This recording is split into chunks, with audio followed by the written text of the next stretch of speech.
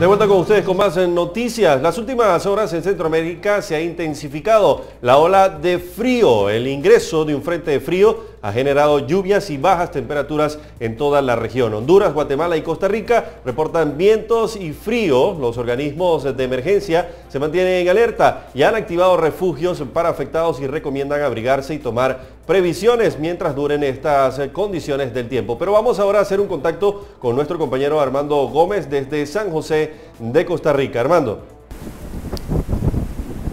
Efectivamente, los efectos del Frente Frío que azota Centroamérica también se hacen sentir en Costa Rica, donde este lunes muchas personas salieron abrigadas debido a las bajas temperaturas que han oscilado entre los 12 y 14 grados Celsius.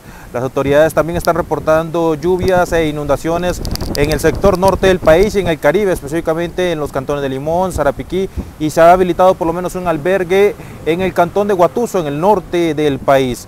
También las autoridades están recomendando seguir los reportes del de la Comisión Nacional de Emergencias y también del Instituto Nacional, del Instituto Meteorológico Nacional, sobre todo en el tema del viento, porque también el viento está haciendo mella en las costas y le piden a las personas estar monitoreando el oleaje y sobre todo el efecto que pueda tener el viento en el oleaje en las dos costas, tanto Caribe como Pacífico.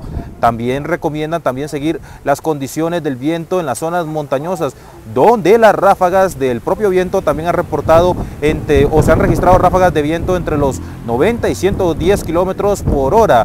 También se habilitaron dos albergues para atender a las personas en condición de calle. Desde San José, Costa Rica, Armando Gómez, CB24 Noticias.